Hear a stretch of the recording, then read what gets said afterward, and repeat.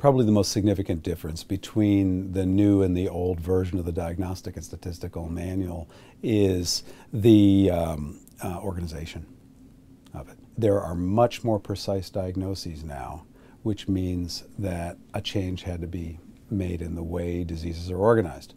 Um, if you had to say one thing that summarizes the difference in organizational approach to naming psychiatric disorders, it would probably be that the new edition uses a dimensional approach rather than a categorical approach. So a dimensional approach means that we see patients as being on a spectrum between two different poles as opposed to being in pigeonholes um, that are assigned uh, at different places.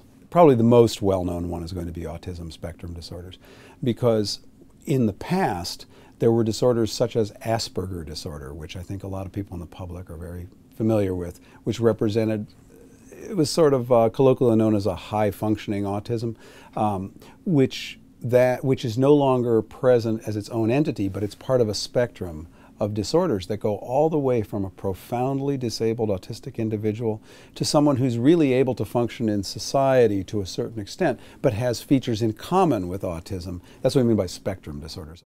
From the patient's perspective, there's not going to be a significant difference um, in the way they seek psychiatric care and the way they are diagnosed and treated.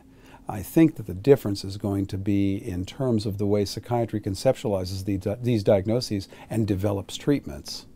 Um, hopefully, the patients will then see a more specific diagnosis and a more specific treatment, but the diagnostic names of things are probably not as important from the patient's perspective than they are from the physician's perspective. What it means is that a lot of research has taken place in the last 19 years since the last diagnostic manual. And neuro, psychiatry is beginning to enjoy the benefits of neuroscience research. And we now have the ability to really look at a much more fine level of detail about the disorders, and we've discovered that some of them need to be conceptualized differently because the research has caught up. We need to teach students and residents that this is an evolving field that's research driven and evidence based, and um, when there's a good reason to change, they should change.